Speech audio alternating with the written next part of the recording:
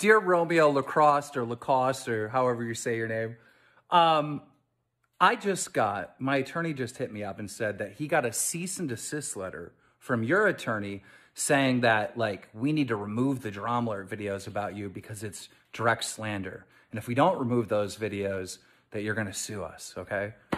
Sue me!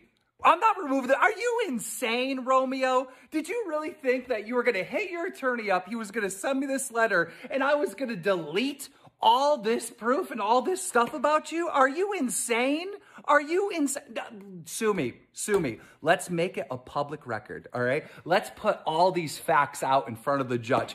Honestly, you're insane because now I was gonna work on another story. Now I'm gonna work on nothing but you, all right? We're gonna do Romeo Lacrosse content for a goddamn month just for sending me that goddamn letter, you idiot. Are you dumb? What, you have this attorney and you think like you have some type of power? I got an army of attorneys. Are you dumb? Are you really that dumb?